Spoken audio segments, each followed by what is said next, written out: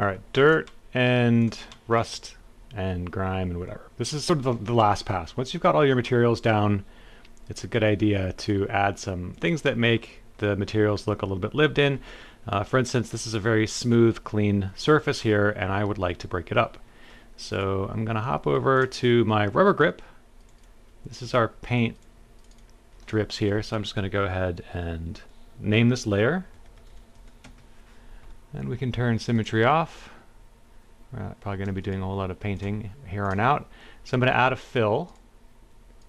And I'm going to turn off everything except the roughness. The roughness is all I want to modify. And you can see if I grab the slider here, I have a, a global value that I can modify. And if I turn this off, what we're getting is the roughness contribution from our little rubber layer here. So I basically just want something that's going to break up that specularity. So I'm going to come over and add a black mask, and then I'm going to add a fill. And we can go over to grunges. And I want something that's got a lot of light and a lot of dark and doesn't feel too weird. Like this would this would probably show up as being pretty obvious, but something like this might work pretty good. So I'm going to click it and drag into the grayscale here.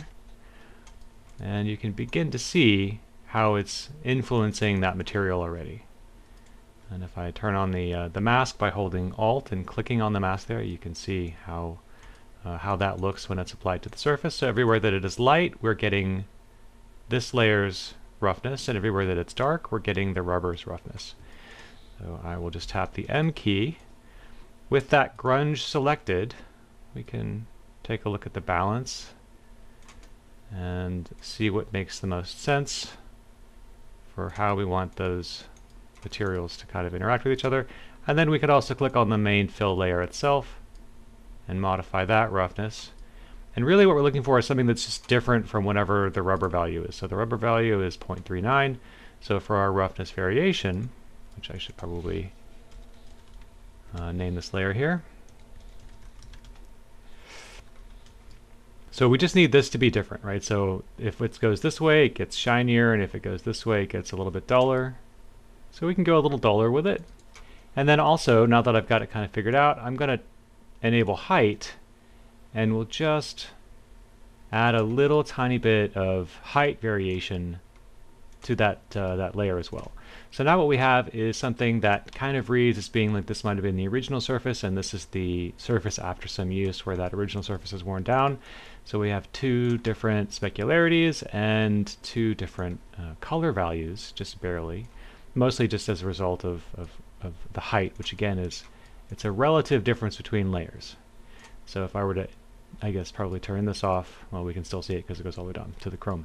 Anyway, um, we've sort of talked about the height stuff already, so I'm not gonna I'm not gonna spend too much time on that. But so there you go. That's a, a really easy way with just one layer to add some nice variation and some nice subtle damage to uh, to some rubber. And then if we look at these two materials up here, the chrome doesn't really have a lot of rust on it, but this material here does. So this is clearly a, just a different metal than what's going on here. So for the Chrome, we can do something kind of similar. I'm going to go ahead and we'll just put this into a folder, which is probably something we should have done at the outset. And I'll call this one Chrome. And I'm going to add a black mask. I know that's off the recording area, but I'm sure at this point you guys have seen me do that a few times. Uh, and let's see, we'll go to Chrome, and then um, I want to add a paint. And into the paint, I'm just going to put all of these faces.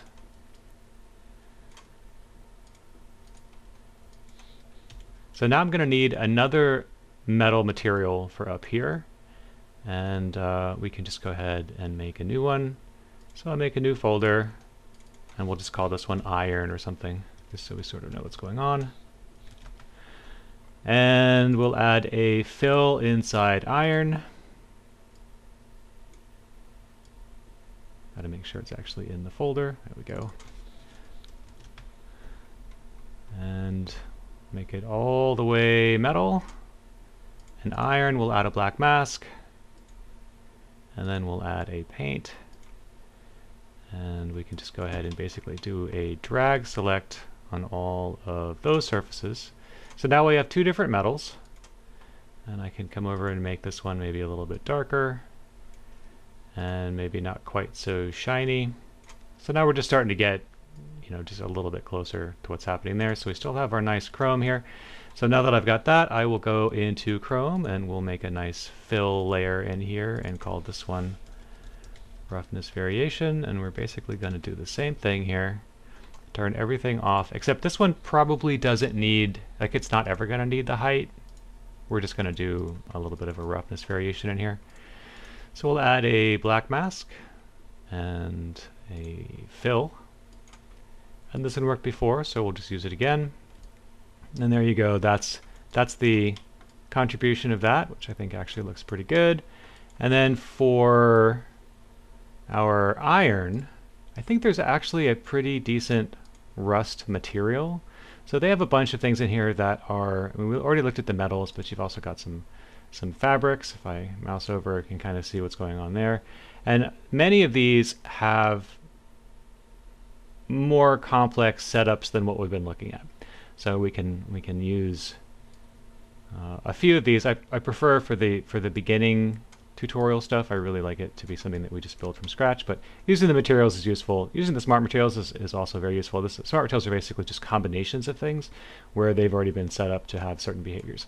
So okay, it should be pretty obvious what we're going to do at this point. We're going to add a black mask.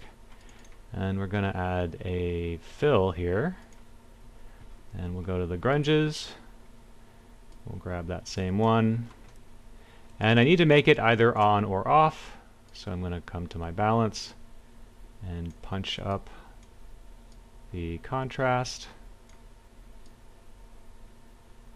And you can sort of see what I'm looking at, right? Like that's kind of where I'm going, so it's still a little bit heavy.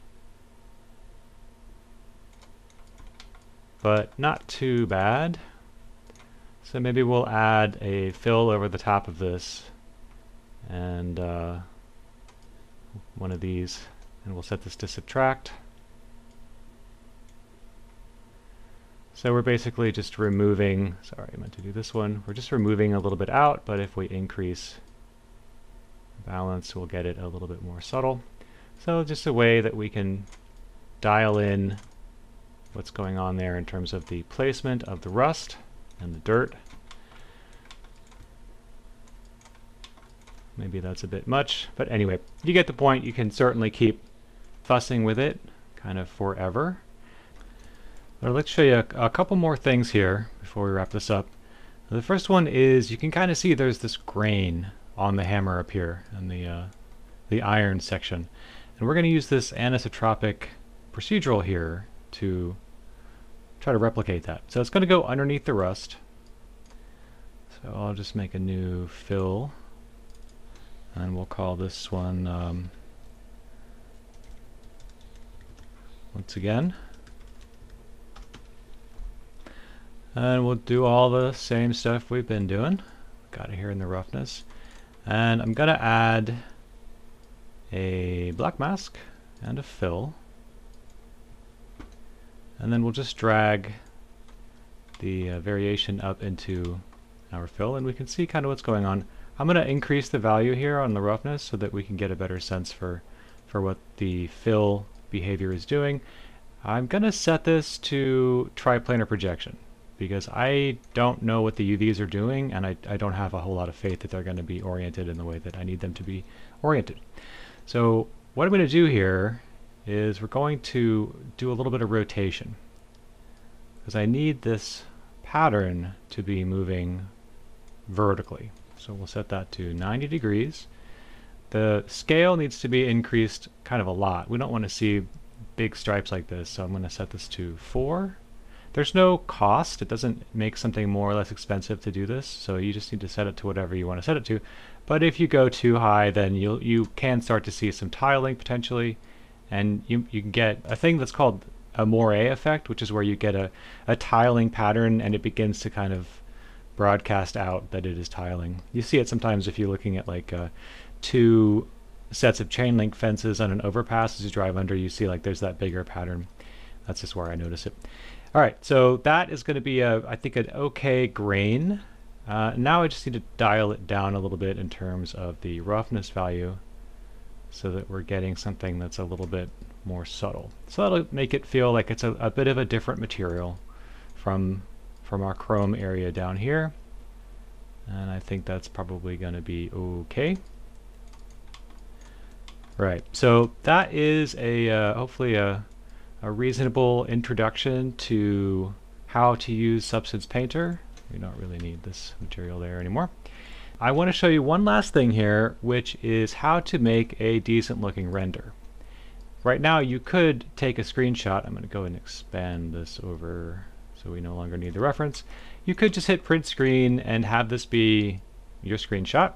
You can hit tab, which will hide the user interface. Toggles that off and on. But Substance Painter comes with a really nice renderer in it. If you go to mode here and click on rendering, you can access it.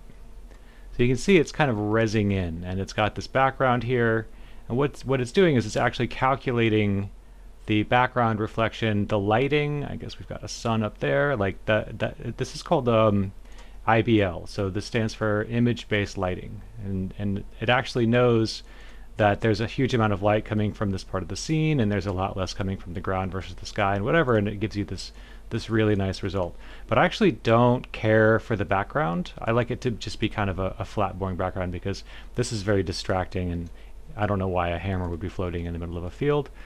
So one of these, I think it's this one right here, this little icon for display settings, you can change uh, uh, the panorama, the, the, the image that you're that's being used for the lighting to any of these, and you can experiment with those as you like.